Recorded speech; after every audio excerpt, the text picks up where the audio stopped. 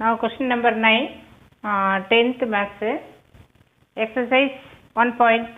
A plane is flying at a speed of 500 hundred per hour.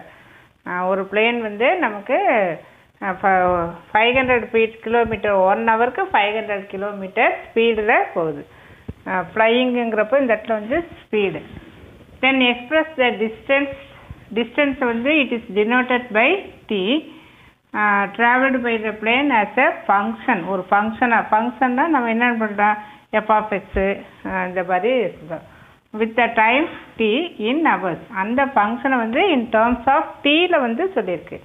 F அப்படிங்கிறது in terms of T அப்போ F of T வந்து நம்ம கண்டுபிடிக்கணும். So தொலைவு distance வந்து டி என்க இந்த நேரம் டைம் வந்து டி என்க.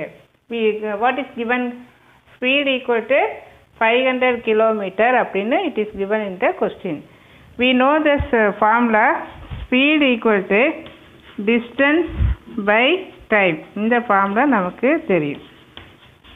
இல்லையா வேகம்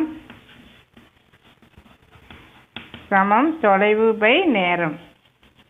தொலைவு பை நேரம். அப்போ speed equal to distance by டைம்னா டிஸ்டன்ஸ் நம்ம என்னென்னு வச்சுட்டோம். டீன்னு வச்சுட்டோம் டைமை டீன்னு வச்சுட்டோம். ஸ்பீடு கொஸ்டினில் என்ன கொடுத்துருக்கு?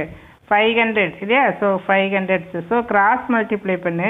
So when cross multiply T equal to five hundred T but இங்கே வந்து சார்பாக கேட்டிருக்கு. ஃபங்க்ஷனாக கேட்டிருக்கு. ஃபங்க்ஷன் அப்படிங்கிறப்போ இந்த டீக்கு பதிலாக நம்ம என்ன எழுதிக்கணும்? எஃப் ஆஃப் எக்ஸு எக்ஸ்ன்னு எழுதக்கூடாது.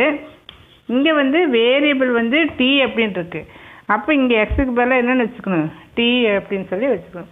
So for different value of T we get different answer f of one f of two இந்த மாதிரி வேறு வேறு ஆன்சர் வந்து நமக்கு கிடைக்கும். தேங்க்யூ